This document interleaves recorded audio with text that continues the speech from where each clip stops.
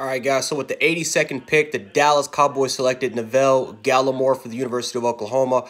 Proto NFL prototypical nose tackle in today's game. Very, very, you know, very, you know, really, really good size. Around, I believe, six three and a half, close to six four, 310 pounds.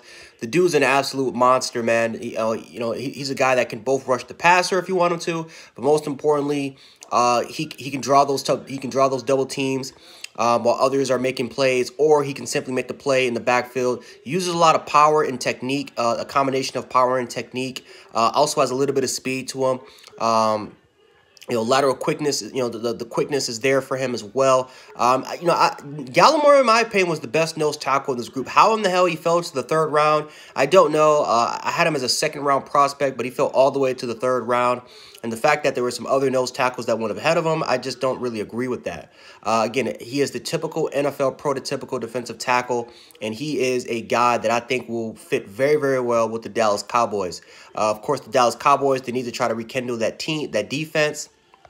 Obviously, getting CeeDee Lamb, you get Trevon Diggs in the second round to try to help the secondary out. Now you try to help Gallimore to try to help that defensive line because that defensive line has been weakening a little bit. Tyrone Crawford, you know, has been the arguably the best player on their defense. Well, I mean, there's DeMarc, you know, of course, there's Lawrence as well, but you can make an argument that Tyrone Crawford has been their best player. They need to, they need somebody else to step up there. Gallimore, in my opinion, if he was on any other team, could be could be a day one starter. Uh, I just think that's how good he really was. His his tape really impressed me at the University of Oklahoma.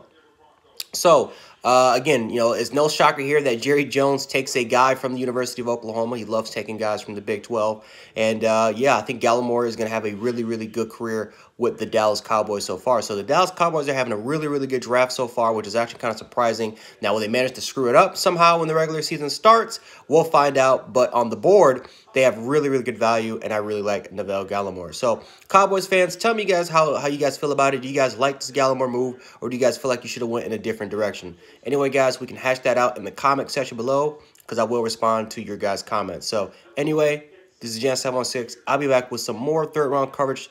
And uh, yeah, I'm out. Peace.